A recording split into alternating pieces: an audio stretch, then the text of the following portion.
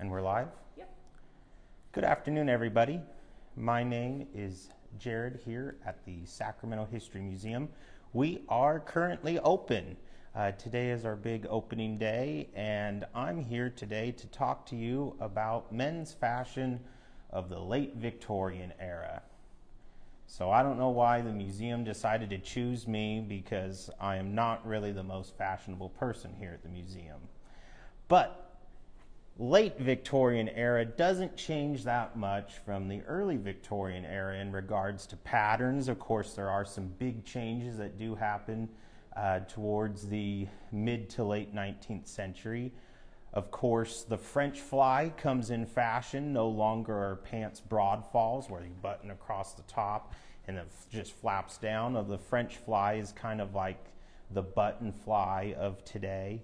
And also, you start to see a patent that was issued to uh, Levi Strauss in 1873, who patented ri- riveted denim pants that we know today as blue jeans. So that's something that big that happens towards the late Victorian era, especially here in California, as Levi Strauss was uh, had his uh, business in San Francisco. But the rest of the 19th century becomes very bleak in regards to color for, uh, for men, as it is the age of the Industrial Revolution. People started to wear more darker colors, especially black suits, probably so it doesn't show that much uh, coal ash or smoke on their clothing from all the uh, steam engines and coal burning. Uh, at different factories. But I really wanted to talk to you today about color because color was big. Look at my shirt that I'm wearing. This is a standard pattern that would have been available by the 1840s. Uh, just to recap with you from last week, uh, of course, cotton becomes the cash crop in the South by the early 1800s after the invention of the cotton gin in 1793 by Eli Whitney. And the unfortunate byproduct of the invention of the, the cotton gin is that cotton was able to be grown farther inland in the South, which expanded the slave trade where enslaved people from Africa were brought farther inland all the way to Texas, and cotton became the major crop. And that cotton was being exported to the north in these early textile factories, which, as I shown you last week, these early textile factories during the market revolution started to make mass quantities of fabrics. And the dyeing of those fabrics becomes very popular. Of course, you got your you have a white fabric that comes off of these looms, but how did they get color? Now, a lot of people, at, uh, if they were doing it at home, might be a little bit different than what was happening in factories. The probably the most prominent color of the time was blue and that comes from indigo. And indigo was also a major crop as well in the South that involved enslaved workers uh, working in these fields. And this is an illustration from the early 1800s of the processing of indigo to get the dye. The, the dye actually would come from the plant itself. It would be dried and ground. And blue just was a very popular color because it was one of those permanent colors that didn't bleed very well. And so that color stayed pretty permanent. It wouldn't fade as easily.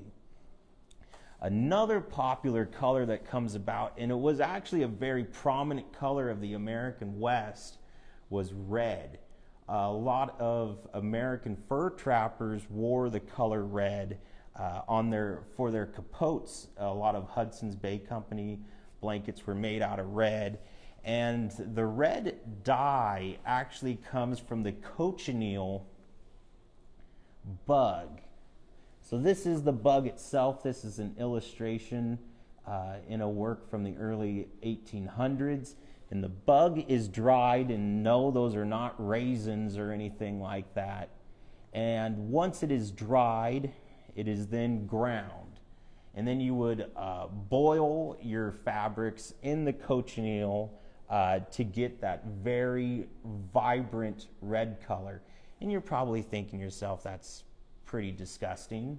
Uh, that's ground bugs for that red color. But don't worry, cochineal is actually still used today in red food dyes and in lipstick.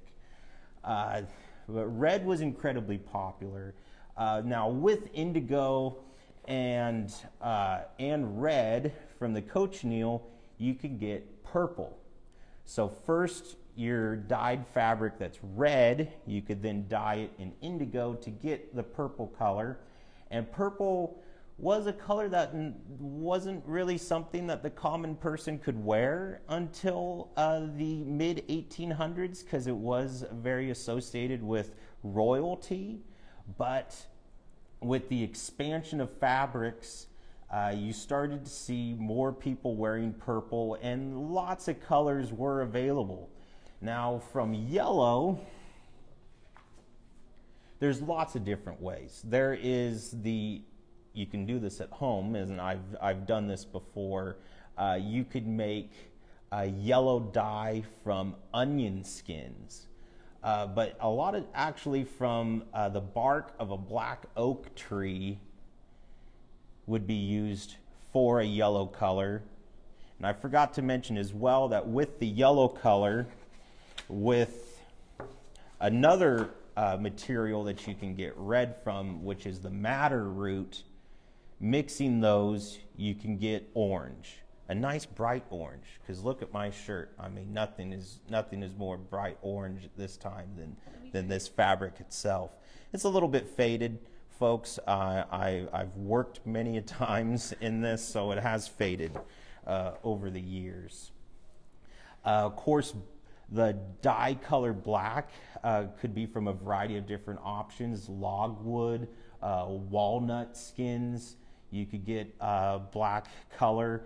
Green, though, was probably one of the most dangerous uh, colors, actually, and it was considered the uh, deadly uh, color of them all because you can get a green dye from a variety of different plants that are dried, but the green did not really stick. But in by the 18 in 1814, you saw the uh, patented of a nice, vibrant green color that became incredibly popular. Everybody wanted green.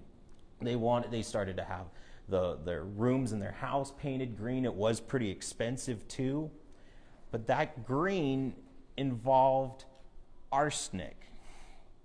And so it was considered, here we have uh, the, the uh, dance, the dance with uh, the dead, which is this deadly fabric that people uh, wore. They, they, no matter the health concerns, no matter how it made you ill, they still wore green. And uh, these are just some of the examples of how they got color at this time. Now, that's the color itself. How do you get what I'm wearing? So, you have a variety of different prints at this time. Calicos and paisleys uh, came, uh, been around for hundreds and hundreds of years from the Kashmir region in India. And it became very popular when with the East India trade for trading these fabrics uh, and brought, brought them to Europe, and they became incredibly popular. But with the market revolution, you started to not have these uh, homespun fabrics printed with blocks. And I mean, they would make the design with a block and stamp it, just like uh, you might you know use regular stamps for or say if you were to see our our printing presses down there that you started to see some origins of woodcuts with these patterns how do you start making mass quantities of those and that's what really spurs during this market revolution that not only do you have these looms making these fabrics you started to start sending those finished fabrics through a rolling press that had all the different designs on it. So here is an example of one of those rollers. And that's how they would start to print these calico on these on these fabrics and it just became all the rage. And with each individual color, now I'm lucky to have only three colors on here. We have the blue, the lime green, and there's a little tinge of orange inside there. That would mean that it would go through the press three times in order to print this. So with each separate color on the pattern became more expensive because it meant that it had to go through the press that many times, which was very unlike if you have something that is just stripes or plaid. That's just changing out the, the string uh, on, on the loom. This rolling of the print on a fabric is what really made things expensive. And by the late 1800s, you started to see prints that had at least five different colors on them. So we're talking something that was quite valuable. Now, what about here in California? So here I have, it's a transcribed copy from John Sinclair, who was a worker at, at uh, Rancho del Paso.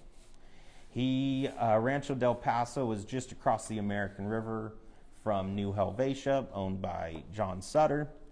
And uh, John Sinclair was the alcalde of the Sacramento district in 1847, and he was the alcalde uh, during the rescue of the Donner Party. And Edward Kern had paid workers to rescue the Donner Party, and in, with all these children that were, uh, were rescued, there was a lot of materials left around out there, and they actually held an auction to raise money to uh, to give money to the children so they could survive essentially after they were rescued. But we have in these letters that they were holding an auction at Sutter's Fort and selling calico fabrics that they had found in order to raise money for the Donner children. But we also have this letter dated February 19th, 1847. Uh, Sinclair is writing to Edward Kern that they were planning on bringing fabric to uh, the women uh, up at Donner Lake because they assumed that maybe they would need fabrics to repair their clothing and everything and it was these fabrics, these calico fabrics were about 75 cents a vara. A vara is about 32.9 inches. But he says that he has uh, the, that's the very that's the very nice calico. He also has calico that were worth about 50 cents, but nobody would wear that. So there's clearly starts to be some different variations of calico. Some people wanted a lot of calicos that nobody wanted at all, that maybe it was not fashionable anymore. So I hope that you this has interested you to learn more about clothing and fabrics and it's something that is very popular amongst our volunteers especially as they choose their new dress that they want to wear uh, for living history events is everybody wants to look the best as possible and have something that is, is, as elaborate and colorful as possible. And all of these fabrics takes a, takes a lot of research and they are documented in these pattern books that you could find online. So if you are interested in learning more about color and fabrics, check out. There's lots of different books online. And then if you're interested in fashion trends over the 1800s, check out our previous videos that we have uh, done for our Facebook Lives on Friday and on Mondays this month.